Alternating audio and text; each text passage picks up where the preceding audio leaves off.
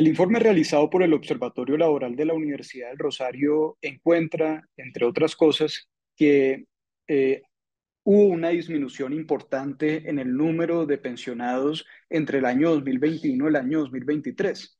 El número de pensionados ha disminuido aproximadamente en un 8%. También se encuentran unas sustanciales diferencias dentro de la estructura de la población en edad de pensión. Particularmente encontramos unas brechas importantes de género.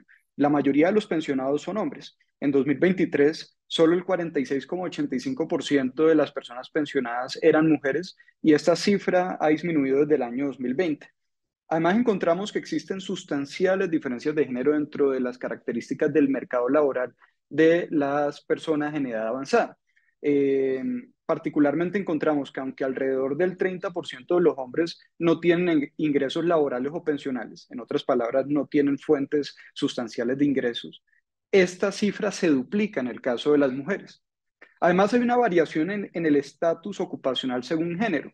En 2023, el 61,58% de los hombres pensionados estaban también ocupados, mientras que solo el 38,42% de las mujeres lo estaban. Esto evidentemente es una situación que muestra que existe una falta sustancial de ingresos, no solamente dentro de la población en edad de pensión, sino que también está, existe una brecha profunda eh, en materia de género dentro de esta población, lo cual afecta sustancialmente el ingreso de los hogares y pone a los adultos mayores en una situación de dependencia económica y de vulnerabilidad socioeconómica. Eh, también nosotros encontramos que hay una presión eh, que está incrementando en los sistemas de seguridad social y pensiones. Esta presión viene del cambio en la estructura demográfica.